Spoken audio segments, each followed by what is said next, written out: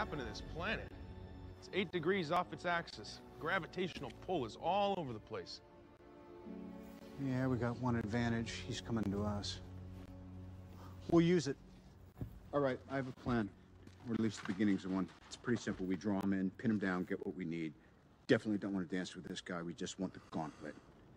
Are you yawning? In the middle of this while I'm breaking it down? Huh? Did you hear what I said? Stop listening after you said we need a plan.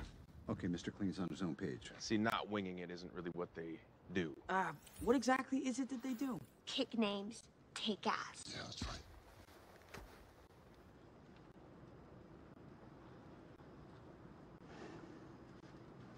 All right, just get over here, please. Mr. Lord, can you get your folks to circle up? Mr. Lord. Star Lord is fine.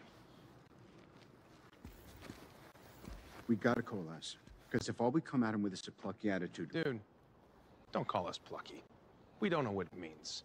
All right, we're optimistic, yes. I like your plan, except it sucks, so let me do the plan, and that way it might be really good.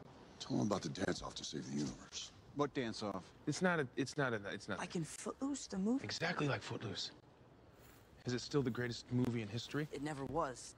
Don't encourage this, all right? We're getting no help from Flash Gordon here. Flash Gordon? By the way, that's a compliment.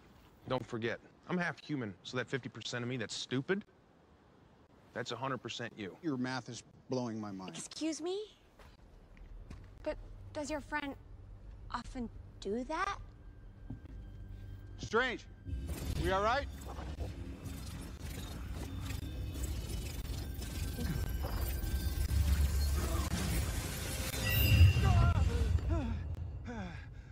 Be back, Jeremy.